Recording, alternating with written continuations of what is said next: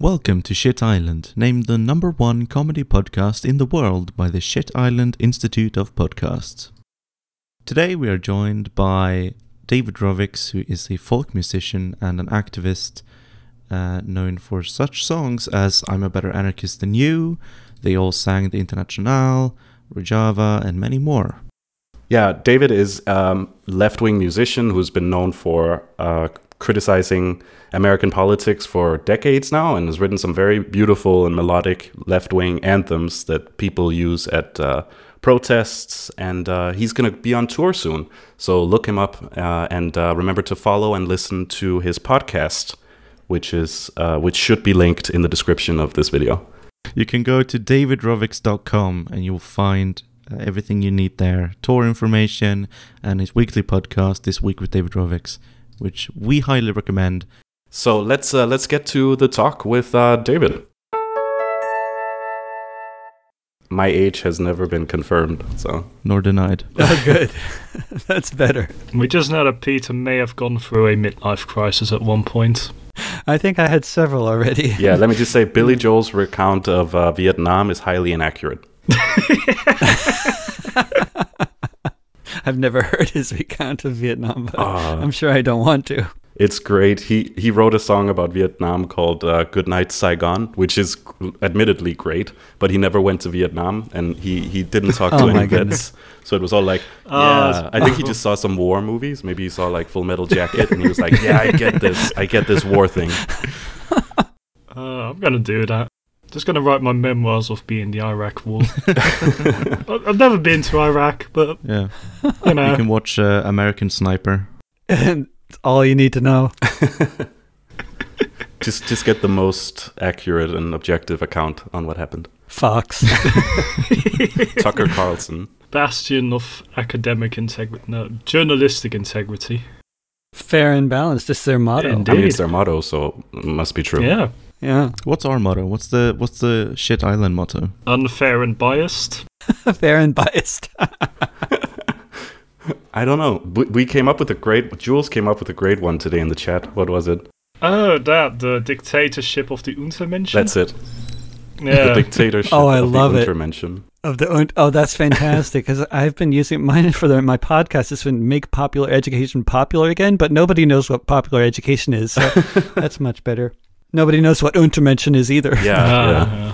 So, um, the topic for today, uh, seeing as how you're mainly a musician but also an activist, is uh, music. And more specifically, we want to talk about the question can music change the world?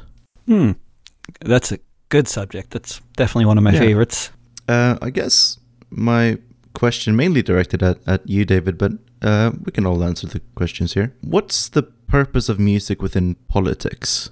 Well, I mean, the thing is, music has always been just another form of communication when it comes to songs and stuff. I mean, songs, words, uh, it's just words Mhm. sung, and and when you sing words, they go to the art, they go to the centers of the brain that affect your emotions. And we can talk about this now in terms of science because this science has been done. And apparently you know it's it's it's confirmed what musicians have already known forever which is that when you sing uh, words and they rhyme, uh, that there's something about that that affects the mind in a magical way and allows you to access the depths of your emotional center, and you can uh, identify with things in a visceral way that is almost impossible without actually experiencing it otherwise you know th- through forms like music and film and you know other forms of expression that are you know have this ability to to communicate so you know viscerally in terms of uh, the, the um, emotional response hmm. of the listener. So i think basically that's the role that music plays in uh, in terms of politics, but it, it plays that role whether you're talking about uh, you know the, the the left or the right or anything else. I mean, you know, uh, all humans or all organized groups of humans have used music for different purposes. Uh, That's yeah. such a good way of explaining it, I think. And also, if you look at it from the way of or the view of science and philosophy, uh, then you you'd also hear this explanation that we see ourselves way more as logical and rational beings than we really are. We're very controlled by our feelings and our emotions and what we connect to, and narratives and fairy tales and stories, and we need them to make sense of the world.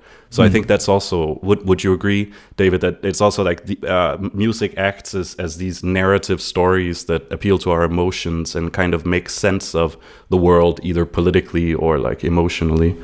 Yeah, absolutely, and and especially um, for making sense of things that we are unfamiliar with, like or previously unfamiliar with, especially for introducing people to uh, things that seem very unfamiliar or very foreign.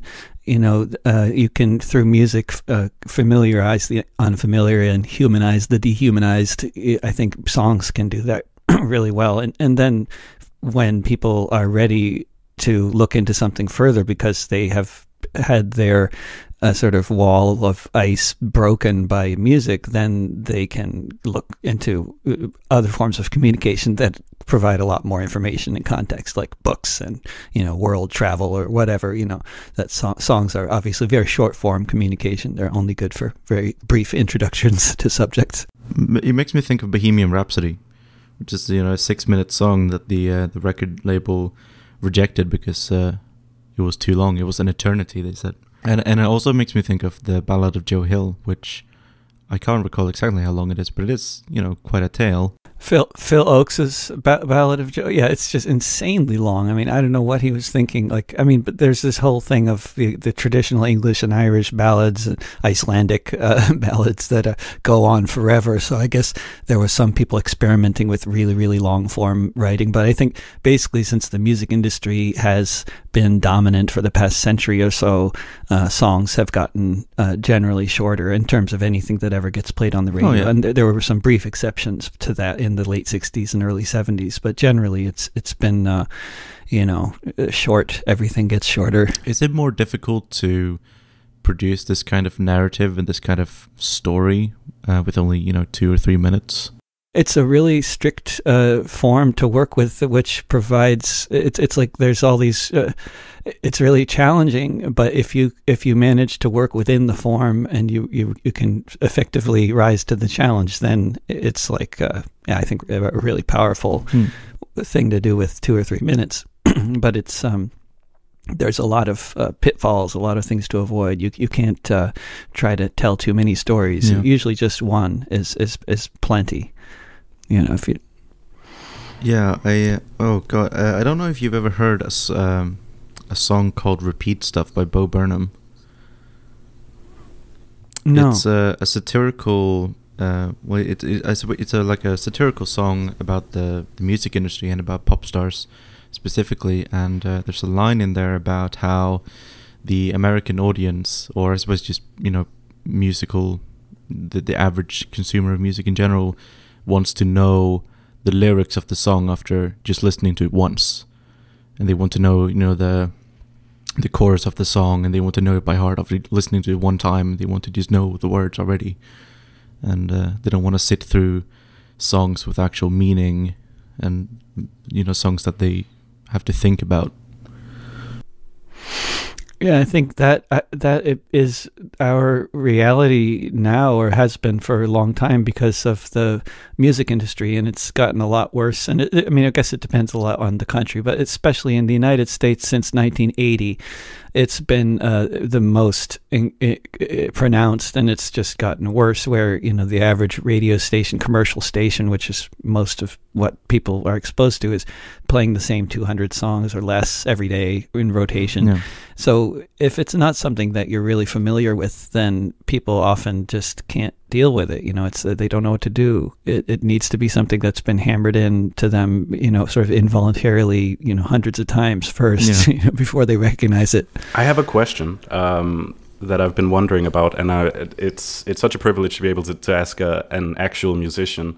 But um, one of the things that really that people really hit home when Trump first became president was this idea that oh okay great now we're going to get all this fantastic protest music and this outrage music and we're going to get punk rock again and uh, comedy is going to get better and culture is going to get better and everything's just going to there's going to be this uh, this thing that we can push against artistically. But if you listen to the radio, it, it doesn't seem like that's reflected at all. There hasn't really, unless you like, if you unless you count this as America, there really hasn't been any kind of political uh, pushback artistically that's been successful in the mainstream that I've noticed anyway. Do you do you think that's deliberate in some way, or do you think people just don't want to think about Trump when they're listening to music, or uh, is that something that you have like uh, an idea about?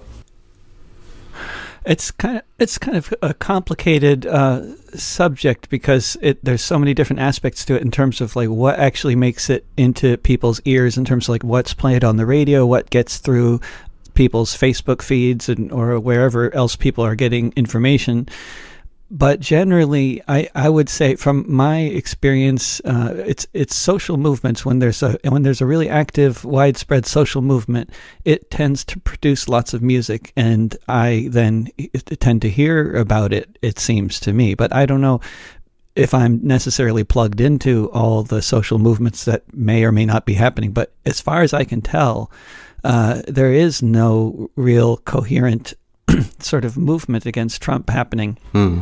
And uh, it's because I think basically social movements need always historically everywhere in the world historically with uh, very very few exceptions like very specific few exceptions i think social movements always require a combination of conditions and optimism in order to exist so you have to have uh, you know, if, if you're going to have a, a, movement against, uh, you know, uh, fascism or war or whatever, then you need fascism or war or whatever you're having a movement against. But you also need a widespread optimism, a widespread sense that you might uh, actually ha- succeed if you engage using a certain tactic and if everybody's in it together, if there's solidarity, you know, then that's when the movement happens. But as soon as people think, oh, we're losing, this isn't going anywhere, movements fall apart and you end up with uh, the small little hardcore usual suspects who are there regardless of what's going on ever you know there's always a, a few but you don't you don't there's times when movements happen when there's this kind of optimism. And uh, like during Bush's second term there was very little happening here because people were so depressed I think. I mean I can only uh, guess but I think people were generally depressed that this guy had gotten elected for, to a second term. And and so you know people were just like oh well what's the point? Yeah. you know that's that's it's always this combination. Do you think that? And I, we we don't have that any optimism. There is no optimism here. Yeah. Wow. You like on on the left in general. Um, there's a lot of defeatism. Um, how long has that been? Where did the the optimism of you know, uh, 2008 Obama's presidential campaign? Where did that go? Well, that was always a false optimism to begin with. So it was uh, it a lot of people got sucked into this idea uh, that something different was happening. I mean, this is always the role of the Democratic Party is to sort of uh, uh, suck up any real uh, sort of uh, optimistic uh, energy toward, for for social change and, and try to direct it to, to, their corporate imperialist little machine and and destroy it. And you know what happened during Obama's presidency was the country got poorer and more divided and more stratified. You know, we got health care, but at the same time generally the cost of living and the cost of housing rose so much that for most of us that you know you, don't notice that you got free healthcare when the rent is doubled. You know, uh, so it's it's um it's been a disaster. Ne- you know, neoliberalism has been a disaster here, and it's continued under both parties, regardless of what you know they say about uh, who they pretend to represent. They represent the corporate elite, and you know this is uh, this is when you have you have a government that is supposedly uh, progressive and and and sort of embraces this progressive mantle somehow, and people believe it's somehow progressive, and then they associate left or le- uh, the left with with this kind of like nonsense kind of supposed progressivism, which is just another form of corporate imperial rule, you know, with with a with a friendly face, you know, it's um, it, it doesn't. Uh, then then of course the the left becomes something that people don't have any confidence in because look if that's what the left is, you know I mean, during the course of the global justice movement, those of us involved were always trying to say this is a global justice movement. We're for global justice. This is not an anti-globalization movement. We're not saying, you know, we're not saying foreigners get out. You know, that's not what this is about. You know, but they always were trying to turn it into the media. You know, always trying to turn the movement into this. Uh, oh, they're against uh, globalization. It, you know, confusing uh, the whole issue. And and now eventually you get to where we're at now, where where you think of uh, protectionism and you think of uh, national protecting national economies and s- sovereignty, and uh, then you think of fascists. You know, and you think of, of the left, and you, and you think of globalism, and and you know, uh, open borders, and and corporate profits rising, and gentrification, which somehow all go together. It doesn't make any sense, but but this is how people are now imagining these totally meaningless concepts of left and right at this mm-hmm. point. I think as uh, I mean, it's just as mess. Scandinavians, uh, Peter and I are pretty familiar with uh, you know corporate interest, corporate and, and imperial interests with uh, a friend of the face, having had social democratic governments for you know the last hundred years or so. Um, oh yeah, absolutely. Yeah, it's uh, the the progressive liberal and neoliberal movement aren't really interested at all in some kind of solidarity. And I think you're absolutely right in saying that they kind of swooped in and, and created this uh, this what do you call it like almost like definitely shallow but uh, but this media optimism around Obama. And I think it was um, just just from me remembering back. It was a, a pretty hard blow for leftists in 2008 when they realized that um, Obama was just another neoliberal uh, after everything that he'd he talked about and everything that he said he was going to do when he was elected, um, despite knowing that he wasn't going to be able to. So, yeah, I think I think you're yeah. absolutely right in your analysis.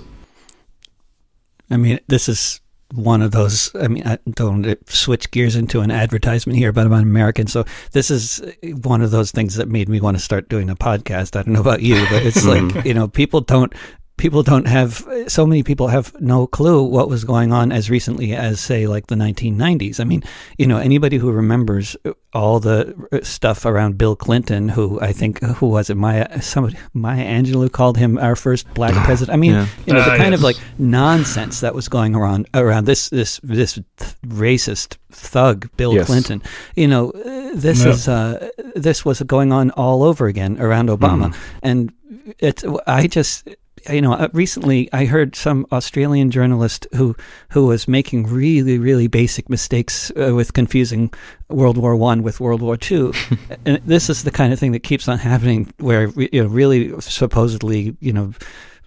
You know, uh, informative sources or people that maybe have some education who just don't you know we're just repeating the same things we just go through this every four years and it's it's so it's so repetitive and so tiring uh, of course, nobody listens to my podcast, so it doesn't matter what I'm saying about it. But you know, I just thought there's we need to we break this this cycle. It's just outrageous. Just you wait, you're gonna get that shit island bump. That uh, patented shit island bump. Ah, yeah. Oh yeah. Gonna so everyone that listens to shit island, go, go listen to David's podcast.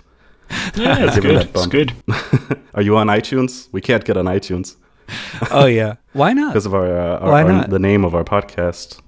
Um, yeah. Oh, seriously? Yeah. Yes. Oh, jeez. There, uh, we should know there are other podcasts with the name shit in it, but ours is too. Uh, no. Yeah. I, ours is too much emphasis on the shit, I guess. I, I don't know. Yeah, there is a podcast on iTunes called Shitstorm, and that's somehow allowed. That's fine. Isn't. That's fine. Yeah. can you just do like S uh, star star T? I mean, that would be really hard for people yeah, to find. Uh, that was one of the issues, and uh, and also iTunes actually has a rule against censoring curse words.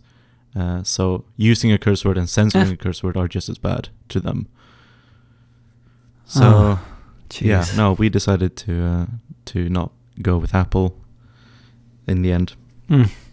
um, we're we're bigger than Apple anyway. Yeah, we're sticking to our principles here.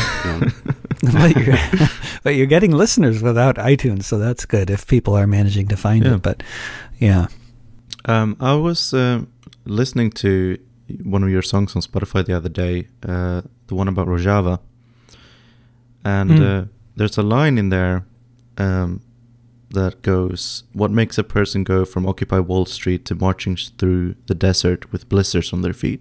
Mm. I don't think the song ever really answered the question. What does make, you know, a milk toast liberal protesting on Wall Street end up volunteering for the YPG? You know, are those the same Oh. people who were at Wall Street, uh, who years down the line became radicalized? Well, I would say, I mean, first of all, I'd say occup- the uh, people involved with Occupy Wall Street would you would certainly not describe most of them as milk toast liberals. It was largely a movement of uh, poor people uh, in in the United States. I don't know about um, if it was. It, it, I don't think it was like that in Europe necessarily, although it had some of that characteristic in London, but.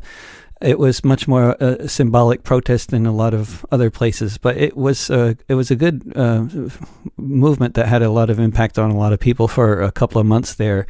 A lot of the impact came from wanton police brutality, which is, of course, usually the case with social movements that they learn about how reality is, uh, you know, from the billy clubs and tear gas and rubber bullets. But um, they, th- there, a lot of people came through that little movement uh, more radicalized than when they entered it, and and that was um, I'm, I would uh, uh, I don't know if that's necessarily the case of uh, you know some of the folks who are veterans of that movement who joined the struggle in Rojava and died fighting there, but uh, you know certainly th- they came out of that movement. You know, and other people in, in, Ro- other people on the left uh, in Rojava from around the world came from other uh, sort of more or less similar movements. Whatever movements have been happening uh, were the ones that people came out of. Whether it was the you know the uh, uh, you know the, the the that movement in Spain, the, the Indignados, or or the uh, or Occupy Wall Street, or the global justice movement before that, or or the squatting uh, movements in various countries. You know, Hmm. it, it, different movements, whatever's happening at the time, is what's going to tend to radicalize people who are involved, and that'll happen in various forms. But Do you think that people were radicalized after the feeling that Occupy didn't really achieve what people hoped it would? I don't know. I think um, I, I don't know what people necessarily uh, hoped it, it might achieve, but I I, th- I think that uh, the idea was very much along the lines of uh, uh, you know it's a it was a it was a sort of um anonymous social movement in much the way the Gilets jaunes is, or, or any number of other movements. So it's so there's no spokespeople, and, and I'm just uh, you know Yeah, theorizing. You know, it, it was, but but I think that uh, it was um, the idea of holding space, like uh, with the, and I, th- I don't think this can be overemphasized in terms of the importance of any movement that engages in ho- holding public space, like the Gilets jaunes do today, and like Occupy Wall Street or the uh, uprisings in the Arab world, uh, the, uh, the, what they call the Arab Spring, or or the squatting movement in many different European countries, or the MST in Brazil. This whole idea of holding, taking, and holding public space is. Um, is, is very powerful and it allows for a lot of things to happen that can't happen unless there's a, a actual physical space that people are holding on to. But it's it's a powerful it's powerful symbolically and in terms of uh, organizing um, and that was I think what it was about more than anything else. Like saying, look, we're we're we're here in the midst of all this wealth. I mean, all the different um, Occupy encampments were in the middle of the most uh, outrageous displays of steel and glass Yeah. um, opulence. Yeah, I, th- I, I think you're absolutely right. And um, one of the, the main successes of Occupy Wall Street, I think, was just popularizing this idea that the 99% were against the 1%. This speaking line that uh, Bernie Sanders then took over a few years later uh, and, and uh, used to his own message.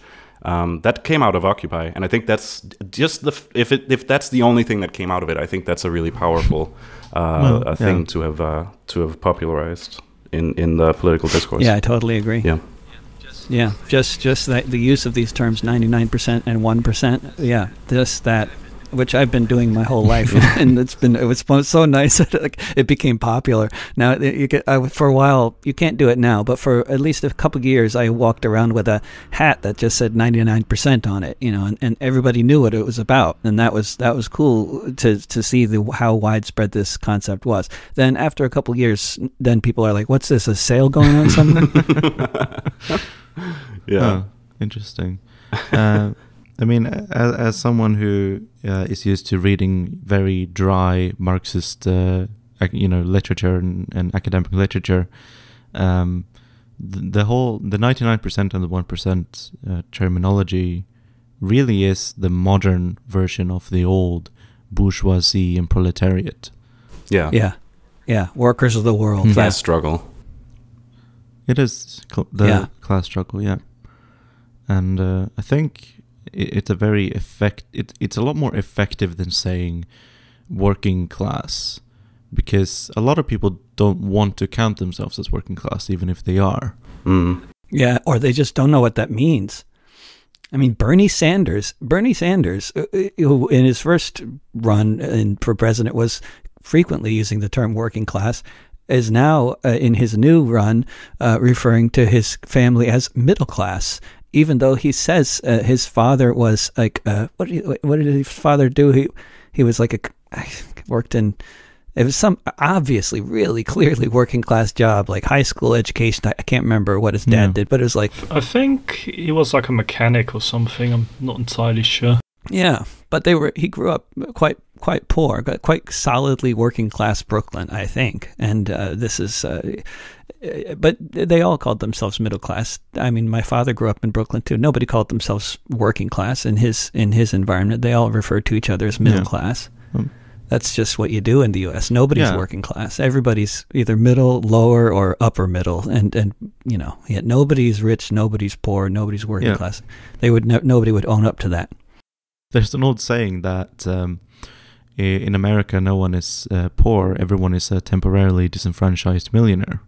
which I think still applies for the most part. That you know, even if you are really down in the dumps, except maybe if you are really like in poverty, you want to see yourself as middle class. You want to see yourself as average or above average, even if you are quite clearly not. Well, I, I think basically because they're ba- basically I think there are some really big and significant differences in terms of long-standing and maybe short-term U.S. history compared with most other countries in the West, and the one of the things that's kept the U.S. from having any kind of a real uh, solid, broad, widespread uh, broad-based class uh, uh, analysis of their own circumstances, which is like the, the kind of class analysis that you find much more commonly in many other countries. I think we, we have not been able to uh, gain that, and I think that's largely because of divide and rule around race. And so basically, any working class white person has to be middle class because if they admit that they're not middle class, that means that they might not be better than black people. And any black person has to be middle class because if they admit that they're working class, then they're admitting that they're inferior to white people. So everybody has to be middle class. Yeah. Do you think that? I mean, uh, I guess it's it's it's pretty obvious, but do you think that it's intentional by, you know, the rich and the powerful to make it so muddled Definitely. and confused about what class am I, who do I belong to, what group, you know, where where do my allegiances lie? Definitely. Yeah, they've always just used race in a way to divide people around class. Mm. You know, it's the same same.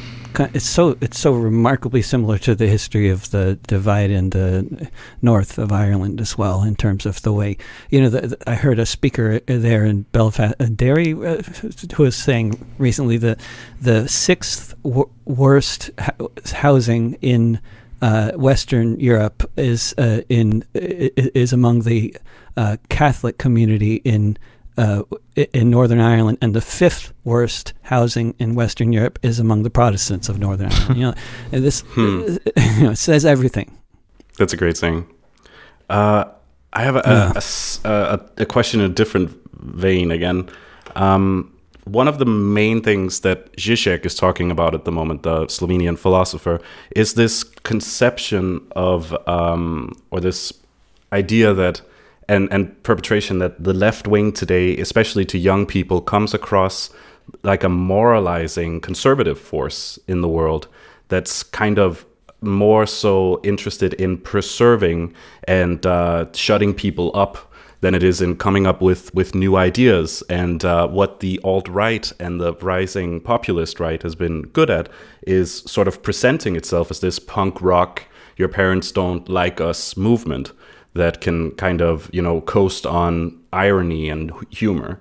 So I was just wondering, is that is that something that you've come across? Is there anything that like, do you think that how do you think we do you think music can combat that? Do we combat that with art? Do we is it just the mood of the moment do you think? Or uh, have you given that any thought Yeah, I mean it's it's um it's such a conundrum that we're in because uh, you know the what people think of as left today is no longer uh, about uh, uh, class uh, struggle or the, or the things that are familiar in terms of historically what it means to be left, and it's uh, and and they don't so the, so what it means to be left in uh, in the, so many people's minds these days, uh, at least in, in the Western world, it no longer has to do with uh, the things that interest uh, most people because most people in most places are struggling.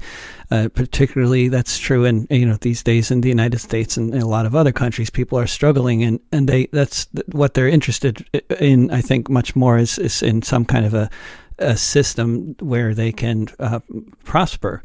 Um, and uh, you know they're looking for those kinds of answers, and and what they're mostly getting is uh, right wingers uh, fomenting uh, hatred and left wingers uh, attacking right wingers who are fomenting hatred, and you know they're and and who seem to be, uh, but the left wingers they're not really left wingers. They're they're they're really more, uh, I'd say, you know, neoliberal imperialists. So you know, Democrats posing as progressive who have taken the mantle of the left, you know, it, it, because that's that's what because the media gave it to them. right You know, I mean, the real left is, uh, I mean, what hap- what the real left has never been in power in the United States hmm uh, you know, the real left doesn't have any representation in electoral politics in the United States and, and never has. You know, at, le- at least in some European countries, uh, there are authentic left wingers who have a certain small percentage of, uh, who hold public office, you know, who, who are not neoliberal social democrats, but are actually authentic. I mean, I'd say like Enhedslisten in Denmark, for example. You know, I, I, I would count as among the, the actual left. You know, I know lots of people within Enhedslisten who are actual, you know, left wingers from when they were small and very, you know, concretely, seriously, you know, left analysis who are in, in the party. But this is um, this is not the case with, with most social democratic parties in Europe, and it's certainly never been the case uh, with either of the main parties in the United States. And the media, any media, whether it's uh, mainstream media or any other media who falls into these kinds of terms of you talking about left and right as if left actually has any representation in U.S. Uh, politics. Mm, I mean, it just ends up perpetuating the problem because you know we don't. amen It's uh, yeah that is the answer the answer is i think you're right is is getting these centrist neoliberals out of the way of the left and no longer accepting that that they represent the actual left because they've kind of messed everything up in the perception of the population about what the left wing represents uh, politically and morally Yeah. and ethically i think Yeah, and or if that's right, and then and then maybe we just have to abandon the use of terms like the left, if that's who the left is. If the you know, I mean, if the Republicans have the color red, I mean, then, okay, well, I guess I guess I can't say I'm a red anymore. People don't know what I mean in, in, in the United States. yeah. Uh, you know, that, that's but if. Uh, Yeah, I mean, sometimes we got to roll with it and you know figure out what kinds of terms uh, actually mean something. But if we can, if if people understand that we mean we we we are standing with the ninety nine percent and that makes sense and people can get that, then let's stick with that. We we represent the ninety nine percent. But uh, if they don't understand what left means, I mean, I've never. Most of us have always been uncomfortable with this left-right thing anyway, because it just sounds so academic. I mean, it has something to do with who is standing to the left or right of Hegel or whatever. I mean, it's it's we need better terms than that anyway. Yeah. You know, I I have no attachment to the term left. Mm. No, that's that's that's a very fair analysis. I think. Um, if if people don't know your music, do you have a, a, a, song or two that you could recommend as a good entry point to your discography? I'm a better anarchist than you. You should start with that. Uh, I love that one. it is a good one. It's also the most popular, your most popular song on the Spotify list. Yeah, so you don't have to look too hard. and what's it about? Just uh, out of curiosity, if you. Oh, sure. It's just about uh, a lot of my friends who, uh, you know, think uh, you know, it's it's just about people in their generally not exclusively, but usually people in their early twenties who think they know everything. Yeah, that's a great topic. Uh, you know who. Oh. Considering the uh, current hosts of this program. not naming any names, but.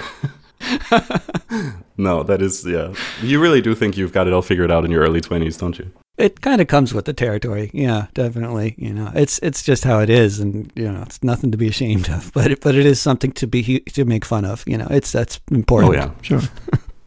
um, David, uh, it's about time that we round things off. But thank you so much for for being with us and uh, taking the time out of your day. It's been a pleasure. Thank you. Do you have anything you'd like to plug? Oh yeah, sure. If anybody uh, out there in uh, in Scandinavia or elsewhere in Europe, uh, um, April sixth, opening day at Cafe Hellebæk, I'll be there running a little cafe on Öresund, uh, separating uh, on the on the sea between Denmark and Sweden near Helsingør and I'll be the guest barista for the summer, and everybody should come visit and get an espresso. Oh, that's wonderful. Hmm. That's a beautiful place too. I highly recommend uh, having a, a lovely day there with some uh, some coffee with some uh, yeah. upper middle class people by the by the ocean. It's wonderful.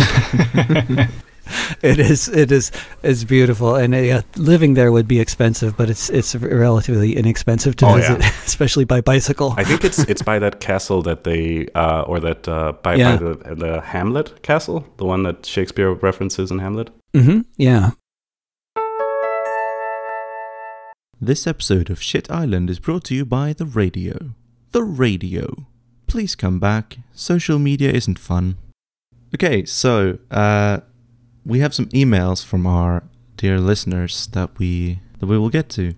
Uh, we'll we'll go with this first email here from Ryan Hauger, mm-hmm. who asks, "What would education in a post-capitalist society look like?" I live in Arizona and I'm currently in my final year of high school. While pretty much all of my teachers have been amazing, and I'm really thankful that I live in a country that provides me 12 years of public education. As I look back on everything that I've been through, it seems pretty obvious to me that one of the school system's function is to conditional all of us for wage labor. Yeah. While I find most of what I learn about to be very interesting, a lot of the actual work I do every day is very repetitive, boring, and pointless. Have Marx or any other cool people written about what a post capitalist education system might look like? Cheers, Ryan H. Well.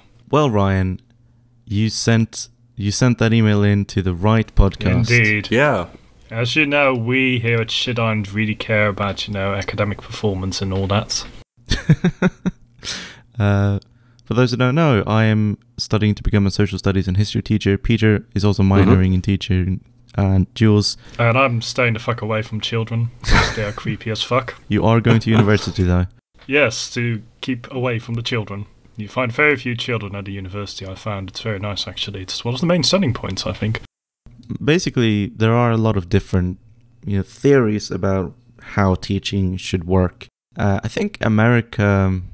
I want to say they they cling on to the the classical conditioning behaviorist uh, ideology of teaching, but I could be wrong about that. But it feels like that's. Can you explain what that means? Uh, classical conditioning, as, as, you know, first um, written about by Ivan Pavlov, and applied to teaching basically means that students are rewarded for good behavior, such as getting high test scores or just being quiet in class, hmm uh, and they are punished for bad behavior. And you know, a hundred years ago, this would be literally by you know physically punishing them with a large stick. In more civilized times, we use psychological horror instead, such as isolation and exclusion, which leads long-lasting scars on the brain instead of on the skin. The uh, the most recent, or at least the most recent mainstream theory within teaching and pedagogy is uh, what I I learned that it's called the socio-cultural perspective on teaching, but it goes by other names as well. So I don't know what it's named as on Wikipedia, but I think you can just look up socio-cultural perspective pedagogy and you should find information about it. Yeah, it's also called the uh, social constructivist. Ah. Um, now that's a term I've heard a few times. It emphasizes a more passive role of the teacher, less active but still very much supportive, and it emphasizes the uh, autonomy and independence of the students, but also uh, for you know, the teacher to be there to provide tools, the most important of which is language. Uh, and, and this is a process called scaffolding, where if you are familiar with gardening, for example, you might think of a student as a delicate little flower which needs to grow to be very tall. The teacher is there to provide scaffolding. You know, uh, you have sometimes you put sticks in the ground for the plants to climb up. That's the role of the teacher basically. You're there to make sure that the student keeps growing as much as it can, but you're not there to dictate exactly how it's going to do that. You just sort of give it the general direction of, you know, upwards, and you provide tools and uh, it's scaffolding to help Yeah, the student on his way. And every student is different. Obviously, very heavy emphasis on individualism and uh, not using cookie cutter methods, always taking the individual into account. Um, You can read more about the scaffolding um, um, methodology and approach uh, if you Google Bruner or Vygotsky and then scaffolding. It's about yeah building a temporary structure around the thing that you're teaching them. So you're acting as a guide to help them learn something new, and then slowly taking away the scaffolding so they can stand on their own, like being a guide f- as a teacher. Yeah. yeah. The way I heard it explained during one of my classes on social constructivism was it is rather than just uh, having knowledge which can just be absorbed somehow, you're there to facilitate the creation of knowledge. yeah. Yeah, exactly. Yeah. Um, and just really quickly to go back to his question about what it would look like under socialism, I highly recommend Mark Fisher's book, Capitalist Realism. He was a professor at a university and he talked about how education today under capitalism in this late capitalist society where we're all plugged in all the time to our phones and to entertainment we kind of we we have a hard time focusing um, generally on on learning. And he talks about how it's it's kind of Im- like it's an imposition put onto us by neoliberalism and this individualism that comes with social constructivism as well where we're always uh, trying to keep ourselves entertained and plugged in.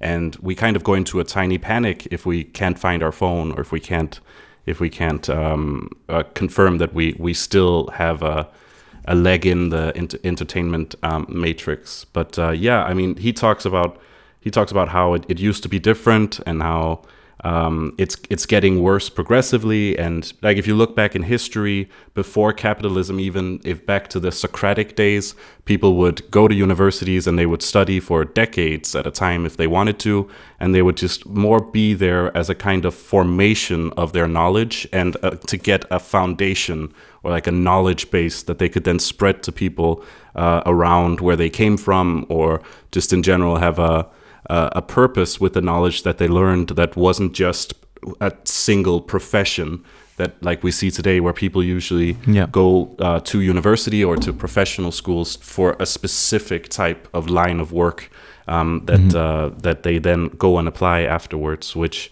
definitely plays into to this uh, wage labor thing that uh, that the email mentioned. Yeah, you're basically going to university to get like a certificate for a job in many respects. Yeah, so I think I think the answer that I would I would say after the end of neoliberalism or capitalism, if we want to be that uh, grand in our statements, I would say that it's it's going to be more focused on formation and it's going to be more focused on you learning what you want to learn at your pace, and it's going to be more about you figuring out the utility of what you're learning and also just what you want to apply it to in a way that's Yeah. less about you becoming competent at one very specific thing and more about you learning a bunch of useful things and applying and like uh, get, getting as much out of your brain and your uh, abilities as possible that you can then contribute back to other people. Something that I'm very passionate about is uh, just giving students more possibilities to in- investigate things that they're curious about.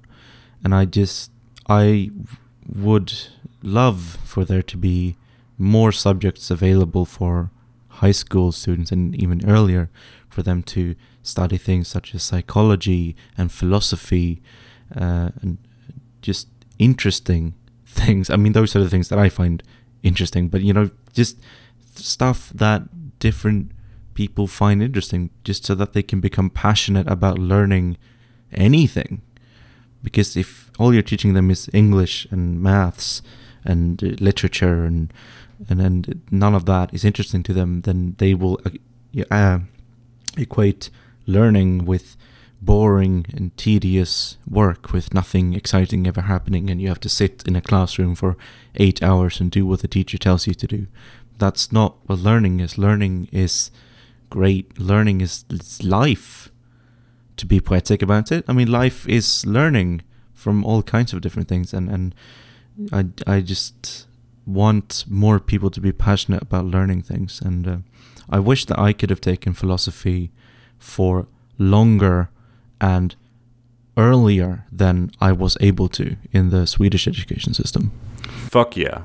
Make people passionate about learning. That's that's a wonderful goal to have because learning is important, and uh, we're not really being like encouraged to learn anymore. I think. I think we're more being encouraged to be paced into a very specific line that we then fit snugly into in, in these boxed ways of looking at education. I think we need to go back to, to, to general formation and general curiosity and knowledge.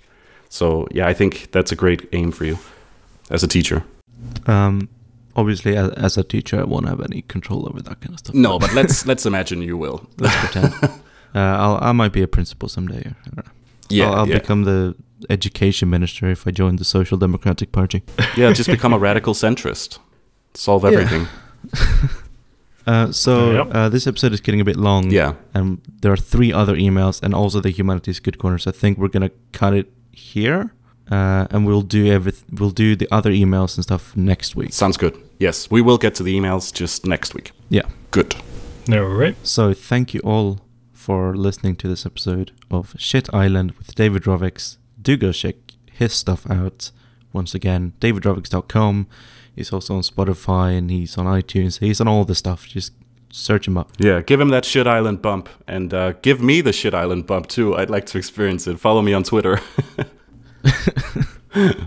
Um, come check out the Discord. That- that- That's most of a bump I can get out of this, I guess. yeah, we have had Yeah. a lot of new people join the Discord server recently. Yeah. Yeah, that- what the We had hell. Like 20 people yesterday joined the Discord server, I think. yeah, like all at the- once. How, how did that happen? What would, Yeah, no, I don't know. Uh, They all said that they came from like different places and different videos, so there wasn't like a one single source. I think it might have just been like the YouTube algorithm giving me some of that, you know, sweet, sweet somethings, Uh, yes.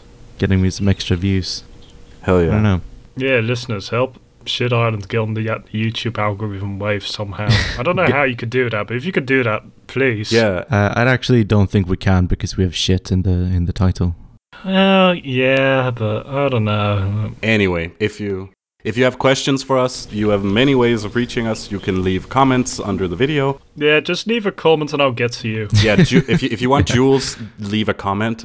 it's probably even more effective Yep. than than joining the Discord server at this point. um, Uh, if you if you want to get in touch yeah. with me, probably Twitter. Yeah, me too. Uh, send in your, your questions. Send in your questions to shitislandshow at gmail.com and we will answer it. Yes, but thank you so much, everyone, for tuning in to Shit Island. Share it with all your friends and the people you don't like, and the uh, people Sure. that uh, raised you, and the people that hate you. Yeah, get your grandparents to uh, listen to Yeah, Maybe don't. well. Uh, go for it. maybe Grandma's hip. Ah, I'm, I'm sure. I'm sure Grandma will love Shit Island. Yeah, and hey, Azure's dad, thank you for listening. We appreciate it. Yeah, sir. Thank you, everyone, and see you next week on Shit Island. See you next week. bye bye. Bye. Bye bye.